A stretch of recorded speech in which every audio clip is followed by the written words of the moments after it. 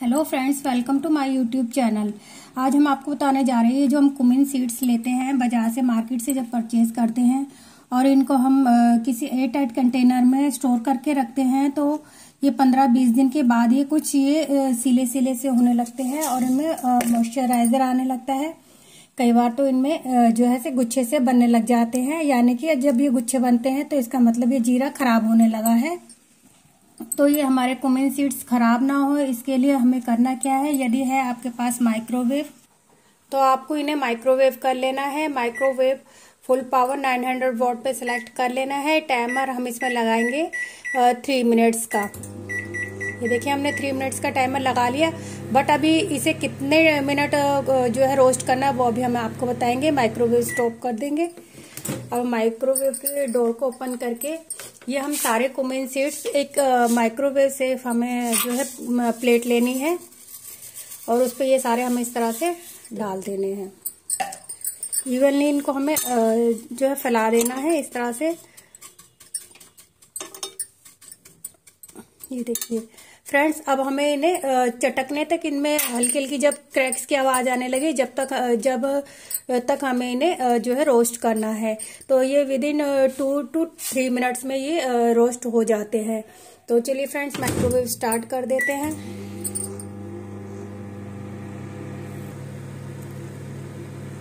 तो फ्रेंड्स ऐसा करने से होगा क्या कि आपका जो कुमिन सीड्स है वो खराब नहीं होगा।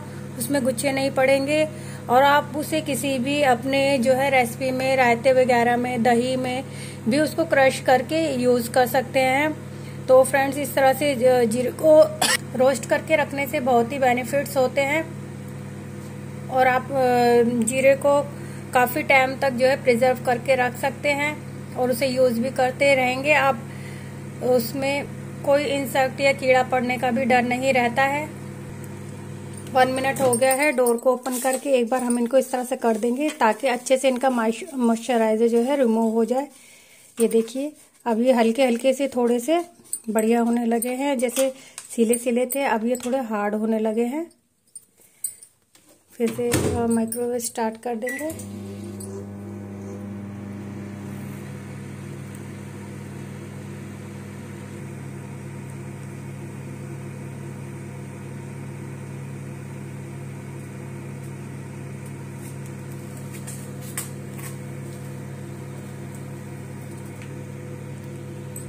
फ्रेंड्स टू मिनट्स हो गए हैं। एक बार डोर को और ओपन करके इनको अच्छे से ऐसे चला देंगे। फ्रेंड्स इन्हें आप स्पून से भी कर सकते हैं, पर ये अभी सर्दियों का मौसम है तो मुझे तो हाथ से करने में कोई दिक्कत नहीं हो रही है। ये देखिए, आप इनमें से धुआँ निकलता देख देख सकते हैं। और ये अच्छे से इनका मॉइस्चर जो है रिमूव हो गया है। तो फ्रेंड्स अगर आप इनको बिल्कुल ऐसे ही जो है बस खाली इंसेक्ट से बचाने के लिए आप इनको रोस्ट करना चाहते हैं तो बस इतना ही टू मिनट्स के लिए रोस्ट कीजिए। लेकिन अगर आप इन्हें रायते वगैरह में भी यूज़ करना चाहते हैं तो आप इन्हें थोड़ा सा चटकने तक और थोड़ा गोल्डन ब्राउन होने तक रोस्ट करें। तो अभी हम इन्हें और रोस्ट करते हैं।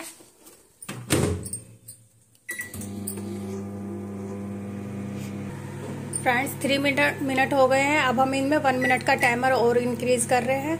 टोटल टाइमर हमने फोर मिनट का कर दिया है। Friends within four minutes ये अब हमारे थोड़े से अच्छे से हल्के गोल्डन ब्राउन होने लगे हैं और इनमें से हल्की महक आ रही है, काफ़ी अच्छी।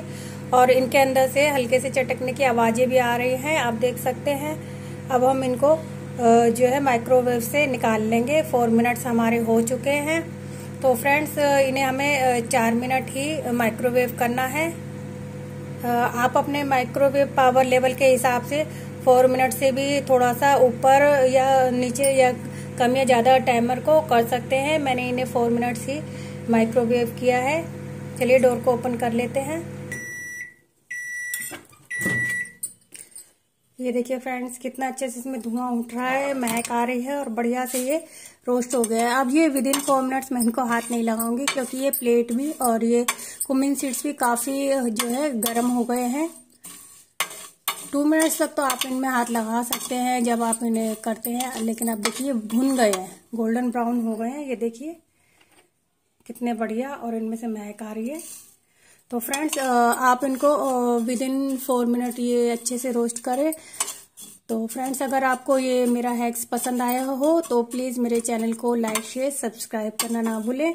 अब फ्रेंड्स इन्हें क्या करना है? इन्हें थोड़ा सा बिल्कुल ठंडा कर लेना है। अभी इनको गरम गरम जो है एयर टाइट कंटेनर में नहीं भरना है।